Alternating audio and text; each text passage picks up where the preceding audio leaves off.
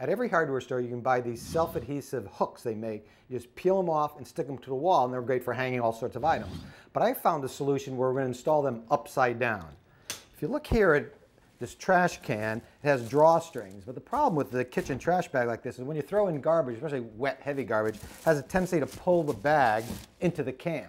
So we're going to solve that problem using these hooks. And again, we're going to be installing them upside down. The first thing is put the bag in the can and press down the bottom so that's not up in the air, and then pull down the drawstrings on each side. And then we're going to put the hook right on, again, upside down on the drawstring.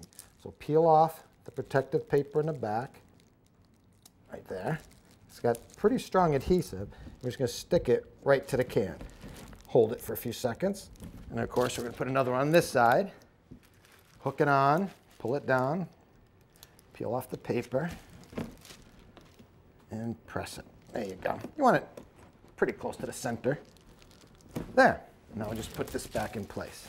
And what you'll find is now when you put in the trash, you throw it in. Once the, gate, the hooks are engaged, the bag will stay put.